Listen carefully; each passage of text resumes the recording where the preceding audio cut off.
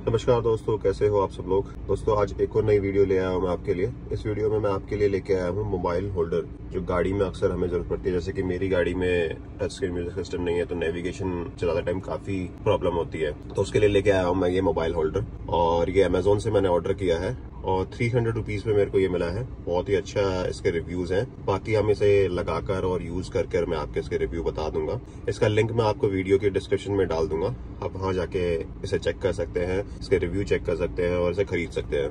ये देखिए, इसको अनबॉक्स करते हैं।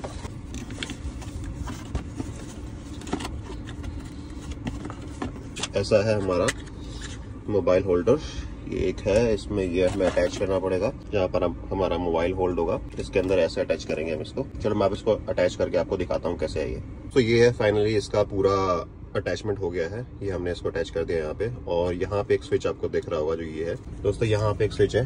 हम इसे, मैं यहाँ प्लेस करूँगा अपनी गाड़ी में। और ये एक स्विच है इसका। जिसका सक्शन को आप रिलीज़ कर देता है। और मैं यहाँ रख कर और इसे बटन को प्रेस करता हूँ।